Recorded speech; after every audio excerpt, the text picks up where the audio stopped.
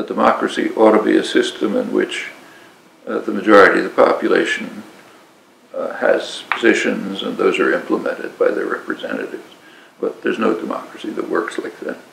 In fact, uh, say take the United States, which is, you know, the, back in the 18th century, late 18th century, the United States was in fact, became the most democratic society in the world, and it's kind of the model on which others have tried to uh, sort of model themselves.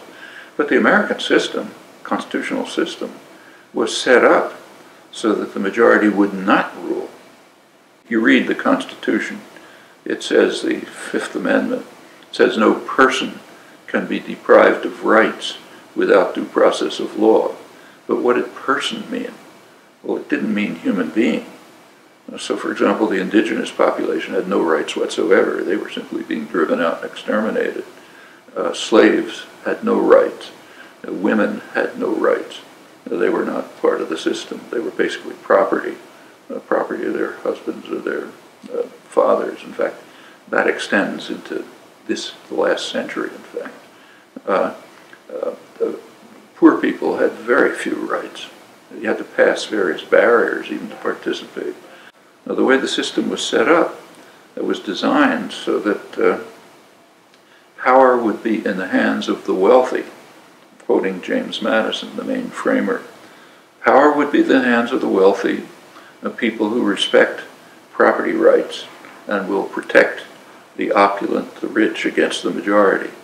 You read the Constitutional Convention, they discuss the fact that uh, if you had a real democracy, in which the majority of the population could express their will, then the poor, who were the large majority, who would use their voting power to take away the property of the rich, to carry out things like, say, land reform. Remember, these are, it's kind of interesting that if you look back through history, uh, the same questions were raised in the first major work of political science, namely by Aristotle in his Politics. He was concerned mainly with Athens, which was also a society, it was a democracy, but of free men.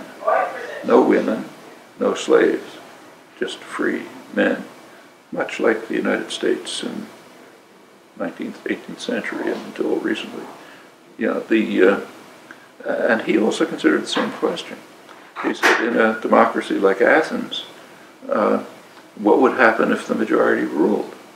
He would say, well, they would use their power to take away the property of the rich, and that's not right.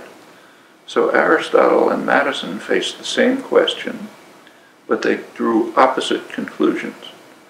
Aristotle's conclusion was reduce inequality, and he proposed what amount to welfare state measures to make everyone essentially middle class. That's his term. Then says, well, then the problem won't arise. Uh, Madison's solution was to reduce democracy. So the system was set up so as to fragment and separate uh, the population and to concentrate power in the hands of the wealthy. And then you wouldn't have the problem. And the whole of American history since then, political history, is a struggle over this issue. Uh, in the neoliberal period, it's a regression to an extreme form of concentration of power in the hands of the wealthy. Uh, after it was chipped away, more freedom was gained over the years. Now it's regressed back to uh, high concentration. That's the neoliberal program. Very anti-democratic.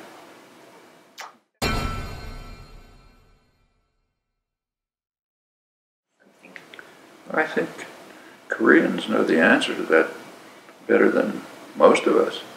I'll say it again. It's not very long ago, 1980s, that Koreans mobilized, organized, struggled very courageously, very effectively to overthrow a brutal dictatorship that was supported by the United States. And they succeeded in overthrowing it. There was a major democratic revolution. It's kind of like an inspiration to most of the world. They didn't ask anybody what they should do, they just did it. And the opportunities are much greater now than then. I mean, a lot of problems in South Korea, but it's not a dictatorship like it was. So plenty of things to do, and you could look at your own history to find them.